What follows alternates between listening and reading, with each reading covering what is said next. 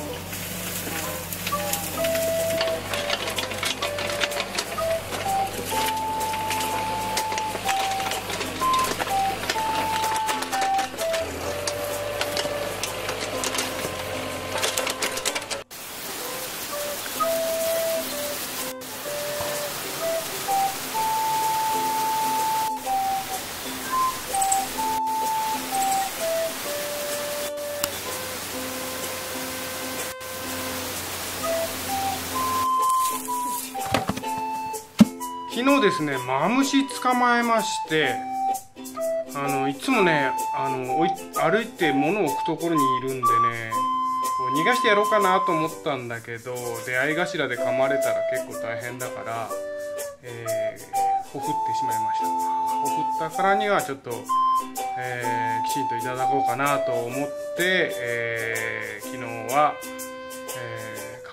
え皮むい。て内臓と肉骨を別にしたってところでちょっと塩を振りかけて冷蔵庫に入れといたんですけどこれから、うん、卵焼きマムシの卵の目玉焼きっていうか卵焼きっていうかを作ってみようかなと思います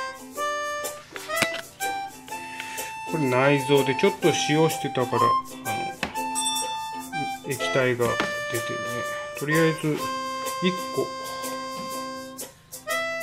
りあえず1個ちょっと待ってよ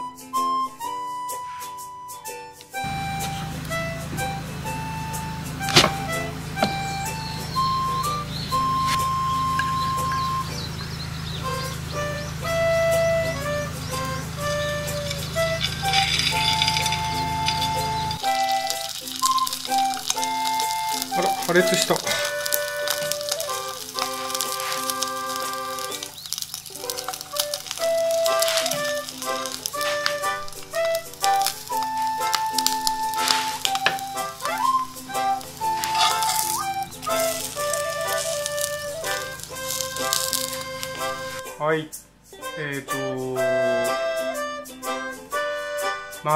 の卵焼き。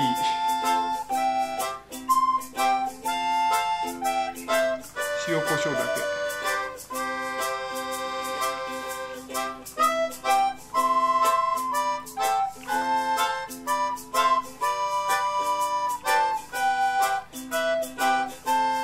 卵、まあ、鶏の卵とすごく変わるわけじゃないけど歯触りがちょっとパサッとしてるのは俺の焼き方の問題なのか。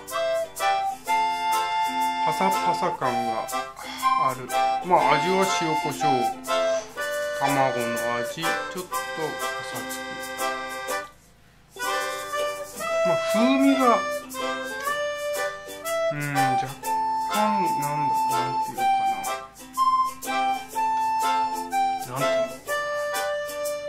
膜が綺麗に取り切れてないからパサつくのかな。でもうんやっぱりちょっとざらつき感があるね。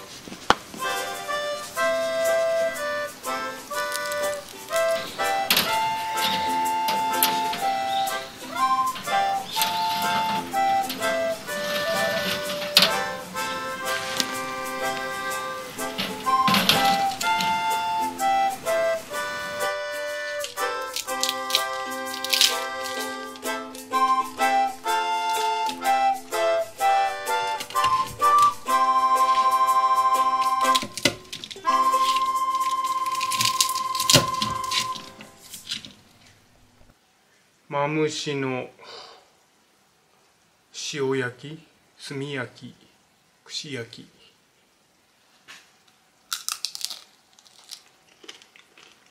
もう骨と筋っていうか。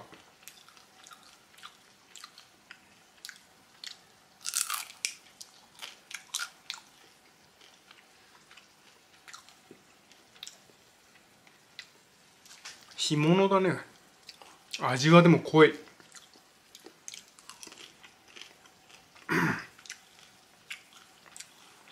うん。肉はあんまりないけど。肉だったら青大将の方が肉質がある。うん。まあでも悪くない。美味しい。まあこの労力に見合ってるかどうかよくわかんないけど。うん。美味しいね。ごちそうさまでした。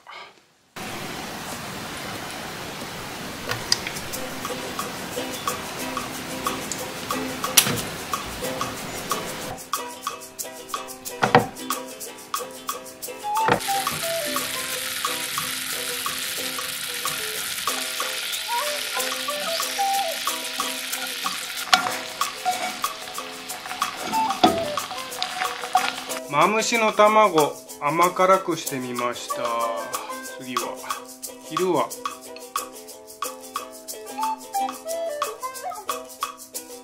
塩コショウだったけど。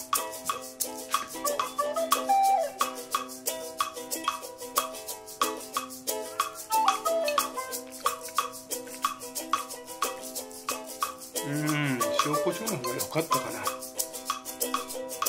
相変わらずやっぱモサだね。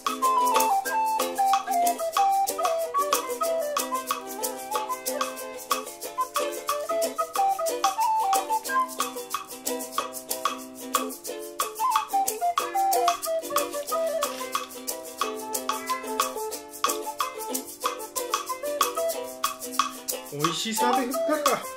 うちの卵の方が美味しいかな。ただね霊言新たかっていうか活力というかね、うん、迷信かどうかわかんないけど。あるかな？どうか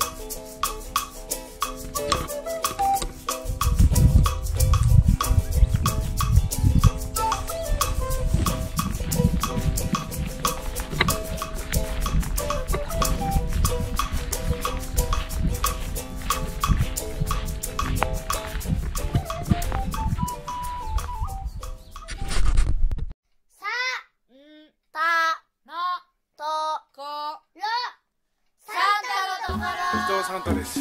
脱サラ養鶏家伊藤サンタです。北海道は余市町で森を開拓しながら暮らしております。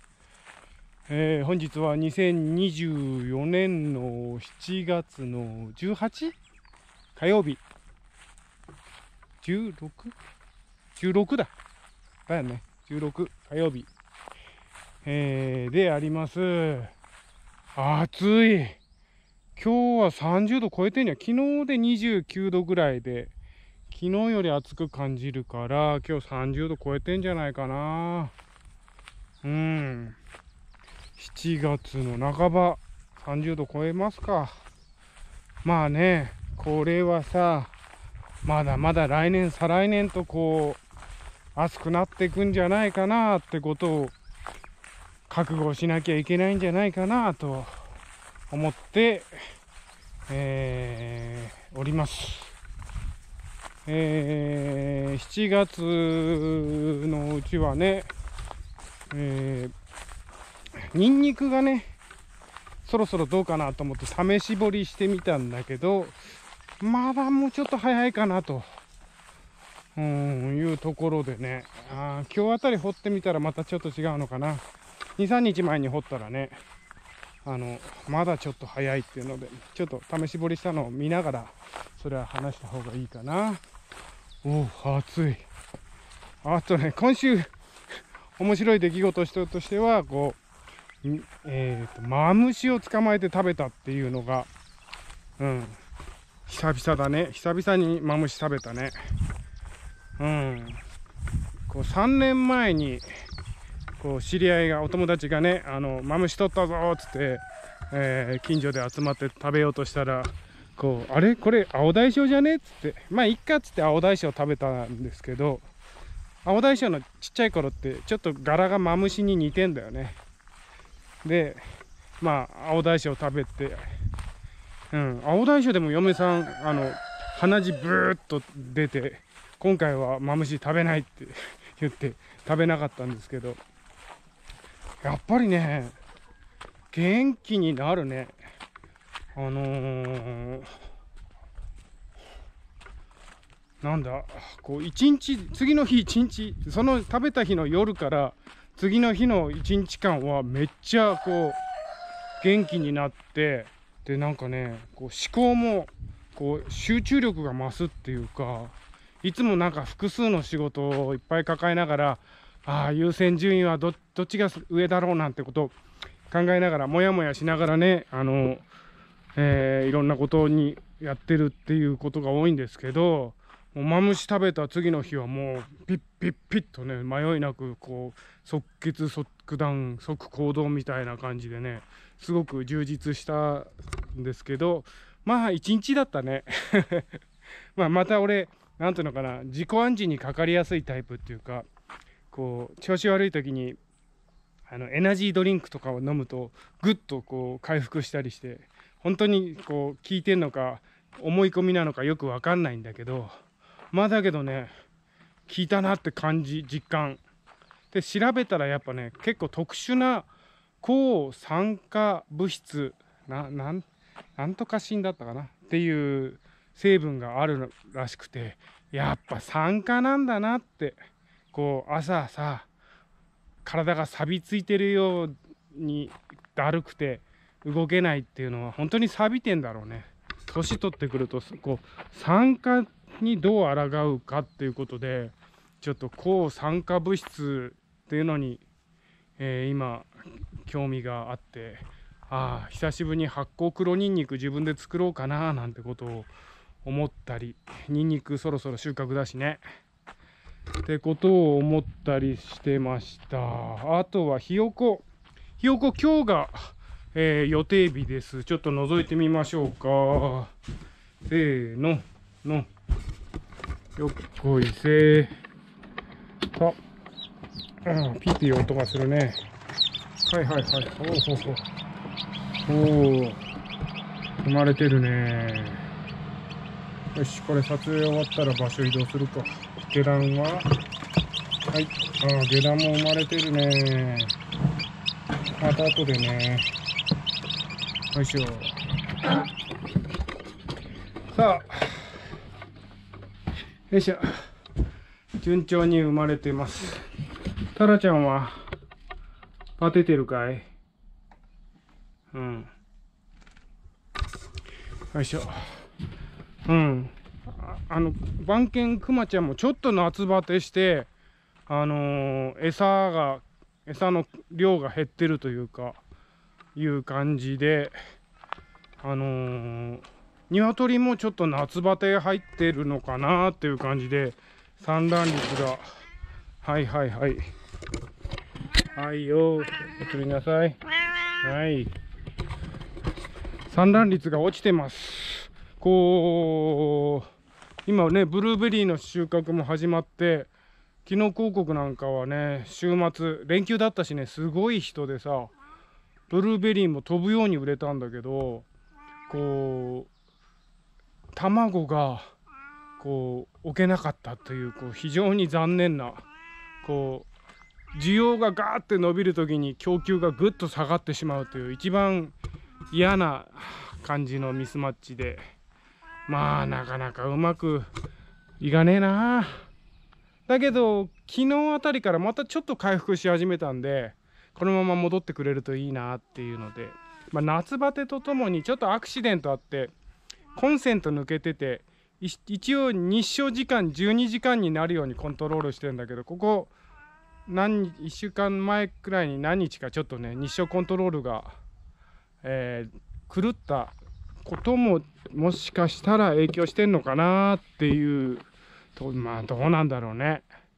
あと一つ疑ってんのはちょっとさくらんぼやりすぎかなっていうところでさくらんぼの量をちょっとセーブしたり、うん、なんかちょっとお菓子食べ過ぎてご飯食べれないみたいな子供みたくなっちゃってんのかなとかね。ちょっとこの3つを疑ってこの産卵率の低下に対してこの3つの要因を疑って、まあ、それぞれに対処したというか感じでまあちょっとまた戻ってきたっていう現状でこのまま戻っていってほしいなと思ってます。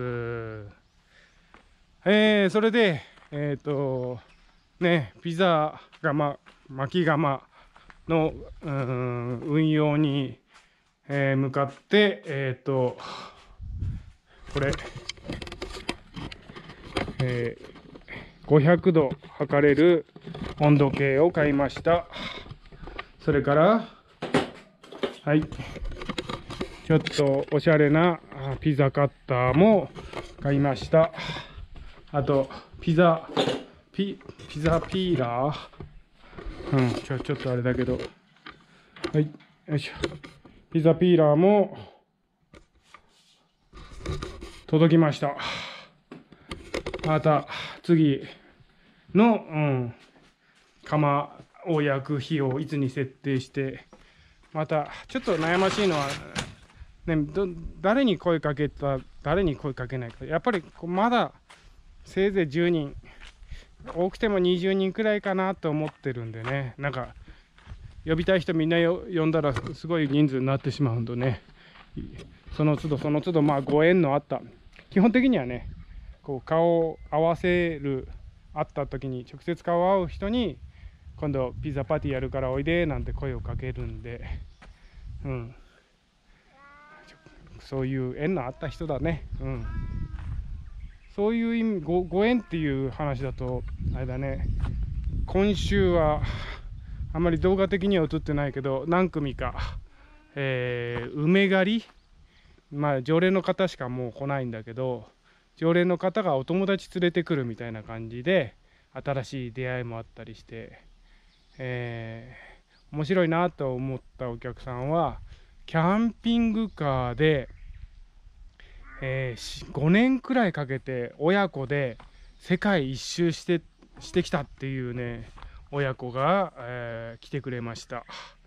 うん、非常にあの感じのいい方で波長が合うなとなんかもっと長い時間ねそれこそ一緒に食事してもっと話を深掘りしたいなって思ってたんですけど、まあ、お互いね、えー、次の予定がまあまたもしかしたら来てくれるかなどうかな、うん、それこそピザ振る舞いたいなって思うくらいですけど。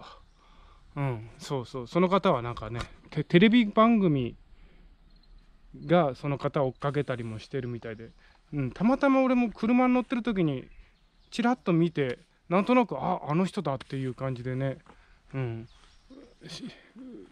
かすかに知ってるような人だったんでもしかしたらね有名人有名人なんだろうね。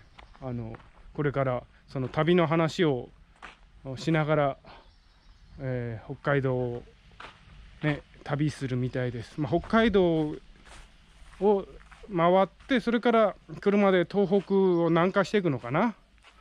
うん。って言ってたよ。札幌はミンタルか。うん。でお話し会するって言ってたんで、えー、興味のある方は是非、うん、非常に感じのいい親子カップルでした。えー、それからえー、ブルーベリー畑の草刈りがだいぶ追いついてきたかなと。まだもうちょっとうんここここら辺なんかちょっとやり足りないんだけど。ここら辺ももうちょっとだね。だけどえー、ブルーベリー狩りも受付始まりましたので、えー、連絡して予約していただければあのブルーベリー狩りできます。えー、っと、電話っていうよりメッセージで欲しいっていうのが、なかなかね、電話取れないんだよね。うん。